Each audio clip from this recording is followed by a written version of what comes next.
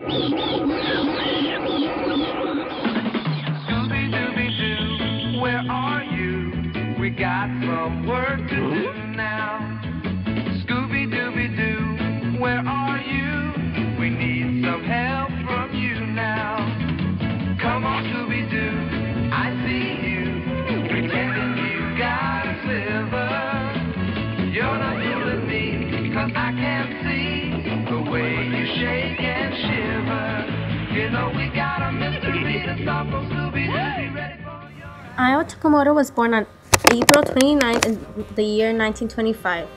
He had no knowledge of animation throughout his youth years. It wasn't until the it wasn't until the bombing of Pearl Harbor he started to learn about the unknown talent he had for animation.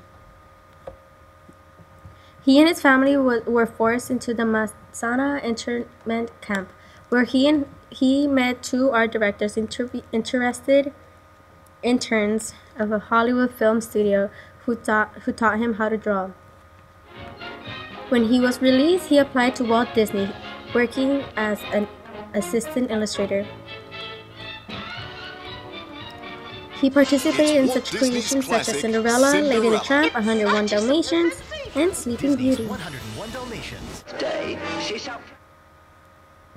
101 Dalmatians. In 1961, he left Disney to work at Hanna-Barbera Productions, where he became a character designer. Some of his most known characters were Scooby-Doo, the Jetson Dog, Astro, and Penelope Pitstop. He was also a producer in such as The Addams Family, Hong Kong Phooey, and Jabberjaw.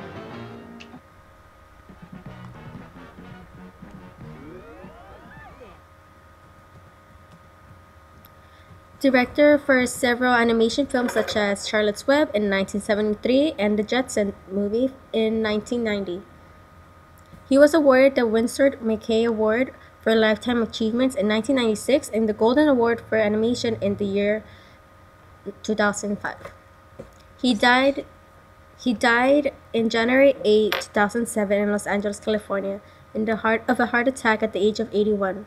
His life work contributed millions of children's joy and happiness every Saturday morning. Oh, yeah.